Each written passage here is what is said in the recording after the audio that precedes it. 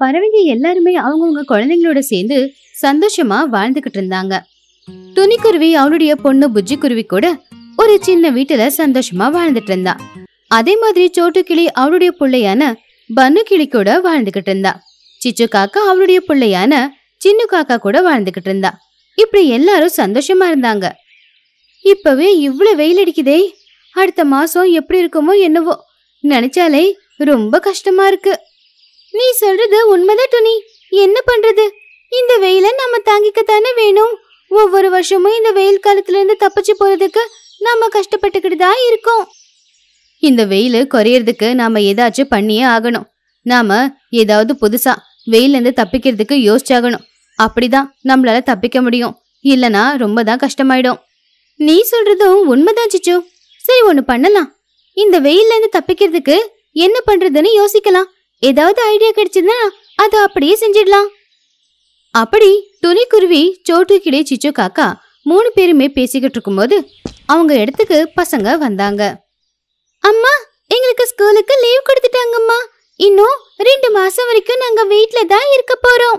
சரியா போச்சு. வெயில வேணும்னாலும் தாங்கிக்கலாம். ஆனா உங்களை தாங்கிக்கிறது ரொம்ப கஷ்டம். ஒரு பக்கம் சூரியன் தான் கொடுமைப்படுத்துறானா இன்னொரு பக்கம் நீங்களும் சேர்ந்து கொடுமைப்படுத்த போறீங்களா? என்ன துணி சித்தி இப்படி சொல்றீங்க. இந்த வெயில் காலத்துல நாங்க உங்களுக்கு வீட்டுல வேலைக்கு உதவியா இருப்போம்ல உங்களுக்கும் நல்லா இருக்கும்ல. அப்படி பசங்களும் அவங்கவுங்க அம்மாக்களுக்கு உதவி செய்யறேன் அப்படின்னு சொன்னாங்க. அடுத்த நாள்ல இருந்து வெயில்ல இருந்து தப்பிக்கிறதுக்காக ஆளுக்கு ஒரு யோசனையா யோசிக்க ஆரம்பிச்சாங்க. இந்த வெயில்ல இருந்து தப்பிக்கிறதுக்கு என்னதான் பண்றது? புஜ்ஜி உனக்கு ஏதாவது தெரிஞ்சா சொல்லு. அம்மா வெயில்ல இருந்து தப்பிக்கணும்னா வெயில் நம்ம மேல படாம பாத்துக்கணும். சரியா போச்சு. அது எப்படி முடியும்? அடிக்கிற வெயில நம்மளால தடுக்க முடியுமா? ஆ என்கிட்ட யோசனை இருக்கு. ஒண்ணு பண்ணலாம். நம்ம யாரும் வெயில் நேரத்துல வெளியே போக வேண்டாம். அப்ப நாம தப்பிச்சுக்கலாம்ல? ஆ ஆமாம்மா. நாம வெயில்ல வெளியே போகவே கூடாதும்மா. அப்படி போனோம்னா அப்புறம் அவ்வளவுதான். சூரியன் நம்மள சுட்டு எரிச்சிடுவான். அப்படி போனாலும் நாம கொடை எடுத்துட்டு போகணும். அப்படி துணிக்குருவியும் புஜ்ஜி குருவியும் வெளியே போகும்போது கொடை எடுத்துட்டு போனாங்க. ஆனா அதிசயம் என்னன்னா அவங்க ரெண்டு பேரும் தலைக்கு மேல கொடைய பிடிக்கல. சூரியன் எந்த பக்கம் இருக்கானோ அந்த பக்கம் மறைச்சு பிடிச்சுக்கிட்டு இருந்தாங்க. அந்த ஊர்ல மஹி அப்படிங்கிற ஒரு கழுகு இருந்துச்சு. மஹி கழுகு ரொம்பவே படிச்ச கழுகு. அந்த ஊர்ல யாருக்கு எந்த விதமான பிரச்சனை வந்தாலும் மஹி கழுகு அந்த பிரச்சனைய சுலபமாவே தீர்த்து வச்சிடும். அட உங்களுக்கு என்ன அறிவு கிரிவு கெட்டு போச்சா? கொடையை எல்லாரும் தலைக்கு மேலதான் பிடிப்பாங்க. நீங்க என்ன அந்த சூரியனுக்கு எதிர்க்க வந்து பிடிச்சிருக்கீங்க? அட எங்களை பார்த்தா என்ன பைத்தியம் மாதிரி தெரியுதா? நாங்க அந்த சூரியனோட கண்ணுல படக்கூடாதுதான் கொடையை இப்படி பிடிச்சிருக்கோம். எங்களை மட்டும் அந்த சூரியன் பார்த்தான்னு வச்சுக்கோங்க. அப்புறம் அவ்வளவுதான். எங்களை எரிச்சு போட்டுருவான். அதுக்காக தான் அவன் எங்களை பார்க்க கூடாதுல்ல அதனால குறுக்க கொடை வச்சிருக்கோம். ஆ உங்க எல்லாருடைய மூளையை எடுத்துட்டு போய் மியூசியம்ல தான் வைக்கணும். உங்ககிட்ட பேசின பாரு. அப்படின்னு சொல்லி மகிக்கழுகு அங்கிருந்து கொஞ்சம் முன்னாடி போச்சு. இந்த பக்கம் சோட்டுவோட வீட்டுல சோட்டு கிளி அதோட பிள்ளையான பன்னு கிளி கிட்ட இப்படி பேசிக்கிட்டு இருந்துச்சு. டே பன்னு பாத்தியா? தரையெல்லாம் வெயில் பட்டு எவ்வளவு சூடா இருக்குன்னு? ஆமா ஆமா தரையெல்லாம் ரொம்ப சூடா இருக்கு. ம் ஆனா இந்த அனலை குறைக்கணும்னா நாம தரையில தண்ணி ஊத்தலாம். தண்ணியில அனல் எல்லாம் போயிடும்ல. அப்படி சோட்டு கிளியும் பன்னு கிளியும் சேர்ந்து அவங்க வீடு முழுக்க தண்ணி அலையை நிரப்பிட்டாங்க. வீட்டுக்குள்ள தண்ணி வரணுன்றதுக்காக பாத்ரூம்ல இருந்த டேப் எல்லாத்தையுமே திறந்து விட்டுட்டாங்க. அப்படி தண்ணி வீட்டுக்குள்ள வந்துருச்சு. அதுக்கப்புறம் தண்ணி வெளியில வந்துகிட்டு இருந்துச்சு. மகிக்கழுகு தண்ணியில காலை வச்சு வழுக்கி விழுந்துருச்சு. ஐயோ கடவுளே என் இடுப்பு எலும்பு உடஞ்சி போச்சே. அட என்ன இது? சோட்டுவோட வீட்டுக்குள்ள இருந்து அருவி மாதிரி வெளியில தண்ணி வந்துகிட்டு இருக்கு. ஒருவேளை சோட்டு வீட்டில் இல்லையோ? அப்படின்னு மகிக்கழுகு நீச்சல் அடிச்சுக்கிட்டே உள்ள போச்சு. அங்க சோட்டு கிளியும் பன்னு கிளியும் தண்ணியில சந்தோஷமா நீச்சல் அடிச்சுக்கிட்டு இருந்தாங்க. அட சோட்டு நீ இன்னும் வீட்டில தான் இருக்கியா? நான் உன்னை எங்கேயோ வெளியே போயிருப்ப அப்படின்னு எல்லாம் யோசிச்சேன். ஆமா என்ன இது? வீட்டுக்குள்ள எதுக்கு இவ்வளோ தண்ணி? அதுவா வெயில்ல இருந்து தப்பிக்கிறதுக்காக தான் நான் வீடு முழுக்க தண்ணியை நிரப்பி வச்சிருக்கேன். அதுல தான் நானும் என் பிள்ளையும் சந்தோஷமா நீச்சல் அடிச்சுக்கிட்டு இருக்கோம். அட உங்களுக்கு என்ன பைத்தியமா பிடிச்சிருக்கு? தண்ணியை இப்படி வீணாக்குறது ரொம்ப தப்பு இல்ல தப்பு சரி அப்படிங்கறதெல்லாம் ஓரமா வச்சுட்டு கொஞ்ச நேரம் நீச்சல் அடிச்சு பாருங்க. இந்த வெயிலுக்கு ரொம்ப நல்லா இருக்கும். சரியா போச்சு. உங்களுக்கு என்ன சொன்னாலும் அறிவு வராது. நான் இங்கிருந்து வெளியே போறதே நல்லதுதான். அப்படின்னு சொல்லி மஹி கழுகு அங்கிருந்து வெளியில போயிடுச்சு. கொஞ்ச தூரம் போகும்போது சிச்சு காக்கா ஒரு டப்புல உட்காந்துக்கிட்டு இருந்துச்சு. அந்த டப்புக்குள்ள நிறைய ஐஸ் கட்டிங்க இருந்துச்சு. அட சிச்சு என்ன இது? டப்பு நிறைய ஐஸ் கட்டிங்க இருக்கு. நீ பார்த்தா இப்படி அது மேல உக்காந்துட்டு இருக்க நான் வெயில இருந்து தப்பிக்கலான்னு பார்த்தேன். அப்படி தப்பிக்க தான் இப்படி டப்புல ஐஸ் கட்டியெல்லாம் போட்டு அது மேல உக்காந்துக்கிட்டு இருக்கேன் ஐயையோ இப்படி ஐஸ் கட்டியில உட்காருது நம்ம ஆரோக்கியத்துக்கு ரொம்ப கெடுதலுமா? ஏன்னா நம்ம ரத்தம் கரெக்டான டெம்பரேச்சர்ல இருக்கணும். இப்படி ஐஸ் கட்டி மேல உட்காந்தனா ரத்தம் ரொம்ப சீக்கிரம் கூல் ஆயிடாது. அது நம்ம உடம்புக்கு அவ்வளவு நல்லது இல்லை சிச்சு. உங்க எல்லாருக்கும் என்ன ஆச்சு அப்படின்னு எனக்கு புரியல. ஏன் எல்லாரும் வெயில இருந்து தப்பிக்கிறதுக்கு இந்த மாதிரி முட்டாள்தனமான ஐடியாவை ஃபாலோ பண்றீங்க? அப்படின்னு சொல்லி மகிக்கழுகு கோவமா அங்கிருந்து போயிடுச்சு. சாயந்தர நேரம் சிச்சு காக்கா சோட்டு கிளி துணிக்குருவி எல்லாருமே ஒரு மரத்துக்கு கீழே சந்திச்சாங்க. சொல்லுங்க இன்னைக்கு என்ன பயன்படுத்தி நீங்க வெயில்ல இருந்து தப்பிச்சுக்கிட்டீங்க? நான் வீட்டுக்குள்ள தண்ணியை நிரப்பி சந்தோஷமா ஸ்விம் பண்ணிக்கிட்டு இருந்தேன். நான் ஐஸ் கட்டி மேல ரொம்ப நேரம் உக்காந்துக்கிட்டு இருந்தேன். ஆனா கொஞ்சம் கோல்டா இருக்கு. பரவாயில்ல. ஆமா மகிக்கழுகு ஒன்னு சொல்லுச்சு என்கிட்ட. என்னது இது? மழை பெய்யணும்னா மரம் வளர்க்கணுமாமா மழை பெஞ்சாதான் நல்லபடியா வெயிலும் கொஞ்சம் கொஞ்சமா குறையுமாமா ஆனா இப்பவே மரம் வளர்க்கறது எப்படி? ஒண்ணு பண்ணலாமா? பக்கத்து ஊர்ல நிறைய மரம் இருக்கு. அந்த மரத்துக்கெல்லாம் கயிறு கட்டி நம்ம இங்க வரைக்கும் இழுத்துட்டு வரலாம். அப்போ உடனே நம்ம ஊர்லயும் மழை பெய்யும் இல்லையா? அப்படின்னு சொல்லி பறவைங்க எல்லாருமே அவங்கவுங்க பிள்ளைங்களை கூப்பிட்டுக்கிட்டு பக்கத்து ஊருக்கு போனாங்க. அங்க இருக்கிற ஒரு மரத்துக்கு கயிறு கட்டினாங்க. அதுக்கப்புறம் அந்த கயிறு இழுக்க ஆரம்பிச்சாங்க. ஜெய் பாகுபலி! ஜெய் பல்லால தேவா! வாங்க போலாம்! வாங்க போலாம்! வாங்க மரத்தை இழுத்துட்டு போலாம்! நம்மள யாரு தடுக்க போறாங்க? இழுங்க எல்லாரும் இழுங்க! மரம் வந்துச்சுன்னா மழை வருமா? மழை வந்துச்சுன்னா வெள்ளம் வருமா? இதெல்லாம் வந்துச்சுன்னா வெயில் போயிடுமா? அப்படி பறவைங்க எல்லாரும் சேர்ந்து மரத்தை இழுக்க ஆரம்பிச்சாங்க. ஆனா மரம் மட்டும் கொஞ்சம் கூட அசையவே இல்லை. அதுக்குள்ள அங்க மகிக்கழுகும் மிமி காக்காவும் வந்தாங்க. அட என்ன பண்ணிக்கிட்டு இருக்கீங்க? உங்களுக்கு என்ன பைத்தியம் பிடிச்சிருக்கா? நாங்க இந்த மரத்தை எங்க ஊருக்கு கொண்டு போய் எங்க ஊருக்கு நல்லது பண்ணணும்னு ஆசைப்படுறோம். அப்படியா? நீங்க எந்த விதத்துல நல்லது செய்ய போறீங்க? என்ன மகி வெயில்ல மூளை குழம்பி போச்சா? நேத்து நீ தானே சொன்ன மழை பெய்யணும்னா மரம் நடணும் மரம் இருந்தாதான் மழை வரும் அப்படின்னு. இப்போ திடீர்னு மரம் வளர்க்குறது கஷ்டம் இல்லையா? அதனால தான் இந்த மரத்தை ஊருக்கு எடுத்துக்கிட்டு போறோம். ம் உங்களை மாதிரி புத்திசாலிங்க தான் நம்ம ஊர்ல இருக்காங்கன்னு எனக்கு புரிஞ்சு போச்சு. உங்களுக்கு நான் என்ன சொல்றேங்கிறது சரியா புரியலல்ல? கொஞ்சம் நான் சொல்றத கவனமா கேளுங்க. உங்க அறிவு கெட்டத்தனத்தினால ஏற்கனவே நிறைய நீங்க கெட்ட வேலை பண்ணிட்டீங்க. சோட்டு தண்ணிய வீணாக்குனா. ஆனா நீங்க இப்படியெல்லாம் பண்ணக்கூடாது. அப்படின்னு மகிக்கழுகு அவங்க எல்லாரையும் அவங்க ஊருக்கு கூட்டிக்கிட்டு போச்சு. ஊர்ல எல்லா இடத்துலயுமே இந்த செடியை நட்டு வைங்க. அப்படியே அங்கங்க பள்ளத்தையும் தோண்டி வைங்க. அப்படி மகிக்கழுகு சொன்ன மாதிரி எல்லாரும் சேர்ந்து பள்ளத்தையும் தோண்டி வச்சாங்க. அப்படியே செடிகளையும் நட்டாங்க. அங்க அங்க பானையில தண்ணியை நிரப்பி வச்சாங்க. இந்த வெயில் காலம் எப்படியும் முடிய போகுது. ஆனா அடுத்த வெயில் காலத்துக்கு காத்துருங்க. அப்போ நீங்க செஞ்ச வேலை எந்த அளவுக்கு உதவி செய்யுதுன்னு உங்களுக்கே தெரியும். அப்படி ஒரு வருஷமும் போச்சு. பறவைங்க நட்ட அந்த செடி எல்லாமே மரமா மாறுச்சு.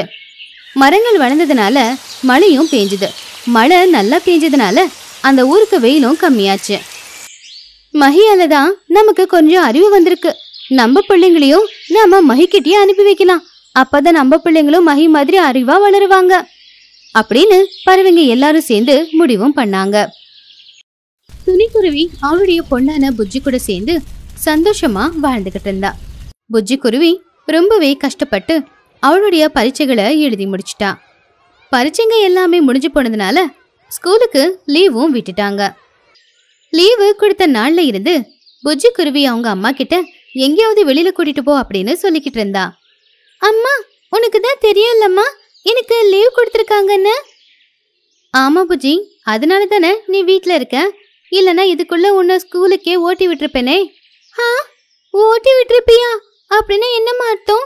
நான் வீட்டில் இருக்கிறது உனக்கு பிடிக்கலையாம்மா? எதுக்கு இருக்காது புஜ்ஜி. ஆனா உன் குறும்புத்தனத்தினால கொஞ்சம் கஷ்டப்படுற அவ்வளோதான் எப்போவுமே உங்க டீச்சருங்களோட வேலை ரொம்ப சுலபம்னு நினச்சிக்கிட்டு இருந்தேன். ஆனா ஸ்கூலுக்கு லீவ் விட்டு நீங்க வீட்டில் இருக்கும்போது தான் உங்க டீச்சருங்க வருஷம் பூரா கஷ்டப்படுறது எங்களுக்கு புரியுது.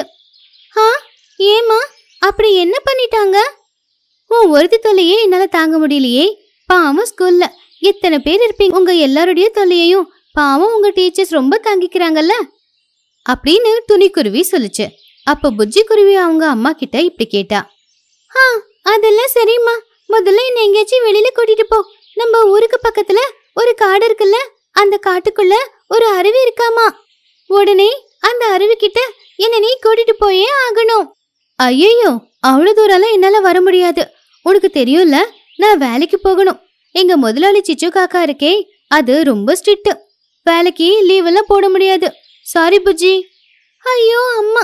வருஷம் பூரா நான் எவ்வளவு கஷ்டப்பட்டு படிச்சு பரீட்சையெல்லாம் எழுதியிருக்கேன். இப்போ கொஞ்ச நாள் தான் லீவ் கொடுத்துருக்காங்க. இந்த லீவ்ல எங்கேயாச்சும் வெளியே போய் சந்தோஷமா இருந்தா தானே அடுத்த வருஷம் ஸ்கூலுக்கு போய் நான் நிம்மதியா படிக்கவும் முடியும்? அப்படின்னு புஜ்ஜி குருவி ரொம்ப கெஞ்சி கேட்டதுனால துணியால முடியாது அப்படின்னு சொல்ல முடியல. சரின்னு சொல்லி ஃபேக்டரிக்கு லீவையும் போட்டுட்டு புஜ்ஜியை கூப்பிட்டுக்கிட்டு அங்கிருந்து காட்டுக்கு போனான் ஆ அம்மா என் கூட நீ காட்டுக்கு வர்றதுக்கு உனக்கு ரொம்ப நன்றிம்மா. இங்க பாரு புஜி நான் இப்பவே சொல்றேன். நாம காட்டுக்கு போனதுக்கு அப்புறமா என்கிட்ட சொல்லாம நீ எங்கேயும் போகக்கூடாது. அப்படி போனனா அதுக்கப்புறம் உன்னை என்னால கண்டுபிடிக்கவே முடியாது. அப்படின்னு புஜ்ஜி குருவி கிட்ட சொல்லி துணிக்குருவி ரொம்ப பத்திரமா புஜ்ஜிய அந்த ஆத்து கிட்ட கூட்டிட்டு போனான் அந்த ஆறும் பார்க்க ரொம்பவே நல்லா இருந்துச்சு. அம்மா நான் ரொம்ப நாளாவே இந்த ஆறை பார்க்கணும் அப்படின்னு ஆசைப்பட்டுக்கிட்டு இருந்தேன். இத்தனை நாள் அது நடக்கல. இன்னைக்கு உன்னாலதாம்மா அது நடந்துச்சு. அப்படி புஜ்ஜி குருவி அந்த ஆத்துல இறங்கி நீச்சல் அடிச்சுக்கிட்டு விளையாடிக்கிட்டு இருந்தா. அப்போ துணிக்குருவி அங்க பக்கத்திலே உட்காந்து புஜ்ஜி விளையாடுறத பார்த்துக்கிட்டு இருந்தா. அதுக்குள்ள அவங்களுக்கு ஒரு ஆடு கத்துற சத்தம் கேட்டுச்சு. மே மே மே மே. புஜ்ஜி ஏன் ஆடு மாதிரி கத்திக்கிட்டு இருக்க? விளையாடிக்கிட்டு இருக்கல பத்திரமா மேலே வந்துடு. ஆ நான் ஆடு மாதிரி கத்துறேன்னா. இல்லம்மா நான் கத்தவே இல்லையே. என்னது? நீ கத்தலையா? அப்படின்னா இந்த ஆடு கத்துற சத்தம் எங்க இருந்து வருது? அப்படின்னு சொல்லி துணிக்குருவி அந்த ஆடு எங்க இருக்கு அப்படின்னு தேடிக்கிட்டு போனான் அப்போ ஒரு புதருக்கு நடுவுல அந்த ஆடு இருந்துச்சு. பாவம் அந்த ஆட்டோட காலில் அடிபட்டு இருந்துச்சு துணிக்குருவி அந்த புதருக்குள்ள இருக்கிற ஆட்டை வெளியில தூக்கிக்கிட்டு வந்தா. அப்படியே அங்க இருக்கிற மூலிகை செடிகளை வச்சு அதை இடிச்சு மருந்தா செஞ்சு காலுக்கு அடிபட்டிருந்த இடத்துக்கு அவ போட்டு விட்டா. அந்த நேரத்துல புஜ்ஜி நல்லா விளையாடிட்டு ஆத்து விட்டு வெளியில வந்தா. புஜ்ஜி பாவம் இந்த ஆடு இங்க புதருக்கு நடுவுல மாட்டிக்கிட்டு இருந்துச்சு. அது மட்டும் இல்ல காலுக்கு அடியும் பட்டிருந்துச்சு. நான் தான் மருந்து போட்டு இருக்கேன் அப்படியா? நீ செஞ்ச உதவி பெருசுதாம்மா. அம்மா எனக்கு ரொம்ப குளிருதுமா ம் மணிக்கணக்கா ஆத்துல நீச்சல் அடிச்சா குளிராதா என்ன? சரி வா நாம வீட்டுக்கு போலாம். அப்படி துணிக்குருவி புஜ்ஜிக்குருவி ரெண்டு பேரும் அங்கிருந்து பறந்து போய்கிட்டு இருந்தாங்க. கொஞ்சம் தூரம் போனதும் புஜ்ஜி திரும்பி பார்த்தப்போ அந்த ஆடு அவங்க பின்னாடியே வந்துகிட்டு இருந்துச்சு. அம்மா அங்க பாருமா நீ காப்பாத்தினியா அந்த ஆடு. நம்ம பின்னாடியே வந்துகிட்டு இருக்கு அட ஆமா என்ன இந்த ஆடு? நம்ம பின்னாடி ஏன் வருது? ஏய் போ போ. ஷூ ஷூ. அப்படின்னு துணிக்குருவி அந்த ஆடை அங்கிருந்து விரட்ட முயற்சி பண்ணா. ஆனா அந்த ஆடு அங்கிருந்து போற மாதிரி போய் மறுபடியும் அவங்க பின்னாடியே வந்துச்சு. அட அம்மா அந்த ஆடு மறுபடியும் நம்ம பின்னாடியே வருதுமா அப்படி புஜ்ஜி சொன்னதுனால துணி பயப்பட ஆரம்பிச்சா. எனக்கு ரொம்ப பயமா இருக்கு புஜ்ஜி. எங்க பாட்டி சொல்லுவாங்க பேய்ங்க தான் ஆட்டோட உருவத்துல இப்படி பின்னாடியே வருமாமா. புஜ்ஜி திரும்பி பார்க்காத. வா நாம ரெண்டு பேரும் இங்கிருந்து பறந்து சீக்கிரமா வீட்டுக்கு போலாம். அப்படி துணிக்குருவியும் புஜ்ஜி குருவியும் பயந்து போய் பின்னாடி திரும்பி பார்க்காம வேகமா பறந்து பறந்து அவங்க வீட்டுக்கும் போய் சேர்ந்தாங்க. ஐயோ எப்படியோ அந்த ஆட்டுக்கிட்ட இருந்து நம்ம தப்பிச்சிட்டோம். ஆ ஆமாம்மா. உங்க பாட்டி உனக்கு சொன்ன கதையை பத்தி நீ என்கிட்ட சொன்னல? அப்போலேருந்து எனக்கும் ரொம்ப பயமா இருக்குமா? உண்மையிலேயே பேய்ங்க ஆட்டோட உருவத்துல தான் வருமாமா ஆ எனக்கும் இந்த விஷயத்தை பத்தி முழுசா தெரியாது புஜ்ஜி. ஆனா சின்ன வயசுல எங்க பாட்டி இப்படிதான் சொல்லுவாங்க. அப்படி துணிக்குருவியும் புஜ்ஜி குருவியும் உடனே வீட்டுக்குள்ள போயிட்டாங்க. போய் சாப்பிட்டு முடிச்சிட்டு அன்னைக்கு இரவு நல்லா படுத்து தூங்குனாங்க. அதுக்கப்புறம் அடுத்த நாள் காலையில துணி எழுந்திருச்சு கதவு திறந்து பார்த்தப்போ அங்க அந்த ஆடு நின்னுக்கிட்டு இருந்துச்சு. அட இது அந்த ஆடு தானே? ஆமா இதோட தாடிய பார்த்தாலே தெரியுதே. இது காட்டுல கிடைச்ச அதே ஆடுதான். அதுக்குள்ள புஜ்ஜியும் உடனே எழுந்துச்சு வெளியில வந்தா. அங்க இருக்கிற ஆட்டை பார்த்து அவளும் ஆச்சரியப்பட்டா. அட என்னம்மா அதிசயம்? இந்த ஆடு நம்ம வீட்டுக்கு எப்படி சரியா வந்துச்சு? அதுதான் எனக்கு புரியல புஜ்ஜி. அப்படி அவங்க ஆச்சரியப்பட்டுக்கிட்டு இருக்கும்போது அங்க சோட்டு கிளி வந்துச்சு. துணி துணி சிச்சுவும் இன்னும் வர சொல்லுச்சு. அவங்க ரொம்ப கோவமா இருக்காங்க. ஏன் நான் என்ன பண்ண? ஒரு நாள் லீவ் எடுத்தா அதுக்கு அவங்க கோச்சுப்பாங்களா? அப்படி துணிக்குருவி சோட்டு கிளி கூட சேர்ந்து சிச்சு காக்கா ஃபேக்டரிக்கு போச்சு. சிச்சு காக்கா ஃபேக்டரியில் உட்காந்து கூல் ட்ரிங்க்ஸ் குடிச்சுக்கிட்டு இருந்துச்சு. ஏங்க நீங்க எம்எல்ஏ கோவமாக கோவமா இருக்கீங்களா? எவ்வளோ தைரியம் இருந்தா சொல்லாமலேயே லீவ் எடுத்திருப்ப. நீ என்ன கலெக்டர் வேலையை பார்த்துக்கிட்டு இருக்க? நாளைக்குலேருந்து இங்கே உனக்கு வேலை கிடையாது. லீவ் போட்டு சந்தோஷமா ஊரெல்லாம் சுத்தி பார்க்குறல்ல இனிமே நீ லீவு போட வேண்டிய அவசியமே இல்லை. இனிமே நீ வீட்லயே இருந்துக்கலாம். ஐயோ அப்படி சொல்லிடாதீங்க. தயவு செஞ்சு நான் சொல்றத கேளுங்க. அப்படி துணிக்குருவி எவ்வளவுதான் சொன்னாலும் சிச்சு மட்டும் துணியோட பேச்ச கேட்கவே இல்ல. பாவம் துணி. அமைதியா வீட்டுக்கு வந்துட்டா. புஜ்ஜி கிட்ட நடந்த எல்லா விஷயத்தையும் சொன்னான் அட என்னம்மா இப்படி ஆயிடுச்சு? ஆனா உன் வேலை போறதுக்கு நான் காரணம். என்ன மன்னிச்சிடுமா? அட இதுல உன்னோட தப்பு எதுவுமே இல்லை புஜ்ஜி. வருஷம் பூரா அந்த சிச்சு காக்கா ஃபேக்டரியில நான் வேலை பார்த்துக்கிட்டு இருக்கேன். ஆனா ஒரு நாள் கூட லீவ் கொடுத்ததே இல்லை. ஒரு நாள் லீவ் போட்டதுக்கு வேலையை விட்டே தூக்கிடுச்சு. இந்த மாதிரி இடத்துல வேலை பார்க்கறத விட நான் பேசாம வீட்லயே இருந்துக்கலாம். அப்படி துணிக்குருவியும் புஜ்ஜி குருவியும் பேசிக்கிட்டு இருந்தாங்க. அம்மா எனக்கு இப்பதான் ஒரு யோசனையே வருது. நம்ம ஏமா அந்த ஆட்டோட பாலை கறந்து அதை வித்து பணம் சம்பாதிக்க கூடாது? எப்படியும் அந்த ஆடு இப்ப நம்ம கிட்ட தானே இருக்கு? அப்படி புஜ்ஜி குருவி சொன்னது கேட்டு துணிக்குருவியும் அந்த ஆட்டோட பாலை வித்து பணத்தை சம்பாதிக்கணும் அப்படின்னு நினைச்சது. அவ நினைச்ச மாதிரியே அந்த ஆட்டோட பாலை கறக்கிறதுக்கு ஆட்டோட மடியை பிடிச்சி கறந்தா. ஆனா வந்தது பால் இல்ல. அதுக்கு பதிலா வந்தது தங்க காசு தான் அதை பார்த்து துணி புஜ்ஜி ரெண்டு பேரும் ஆச்சரியப்பட்டாங்க. புஜ்ஜி என் கண்ணுக்கு தெரியறதெல்லாம் உண்மைதானா? இதெல்லாம் தங்க காசு தானா ஆ ஆமாம்மா. இதெல்லாம் உண்மையிலேயே தங்க காசு தான் அதுக்குள்ள அந்த ஆடு அவங்க ரெண்டு பேருக்கிட்ட இப்படி பேசிச்சு. மே யாரும் ஆச்சரியப்படாதீங்க. நான் ஒரு மந்திர ஆடு. நான் அந்த ஆத்துக்கு பக்கத்தில் தான் வாழ்ந்துக்கிட்டு இருந்தேன். என்னை அடையணுங்கிற ஆசையில் ஒரு வேட்டைக்காரன் தான் என்னை அம்பால குத்துனான் அப்பதான் நீங்கள் என்னை வந்து காப்பாத்துனீங்க. நீங்கள் மட்டும் வந்திருக்கலனா என் உயிர் அந்த இடத்துலயே போயிருக்கும் இல்லையா? அப்போவே நான் முடிவு பண்ணிட்டேன். இனிமேல் நான் உங்கள் கூட தான் இருக்கணும்னு. நான் ஒவ்வொரு நாளும் ஒரு கிலோ தங்க காசை கொடுப்பேன். அந்த தங்க காசை வச்சு நீங்கள் வியாபாரம் செய்கிறீங்களோ இல்லை இதையே விற்று வாழ்கிறீங்களோ உங்கள் இஷ்டம். ஆனால் எனக்கு உதவி செஞ்சதுக்கு நான் உங்களுக்கு மறு உதவி செய்கிறேன் அவ்வளோதான் அப்படி அந்த ஆடு சொன்னது கேட்டு துணி பூஜி ரெண்டு பேரும் ஆச்சரியப்பட்டாங்க.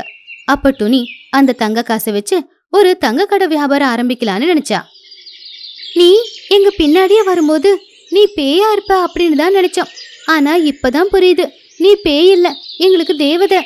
அம்மா வாமா இந்த தங்க காசை வச்சு நம்ம தங்க நகையெல்லாம் செய்ய ஆரம்பிக்கலாம். அப்படி துணி புஜ்ஜி தினமும் அந்த தங்க காசுகளை எடுத்து வச்சு அதுல தங்க நகைகளை பண்ண ஆரம்பிச்சாங்க. அப்படி அவங்க தயார் பண்ண நகைகளை வச்சு ஒரு தங்க கடையையும் அவங்க திறந்தாங்க. அப்படி அந்த ஆட்டோட உதவியால துணி புஜ்ஜி ரெண்டு பேருமே பெரிய பணக்காரங்களாயிட்டாங்க.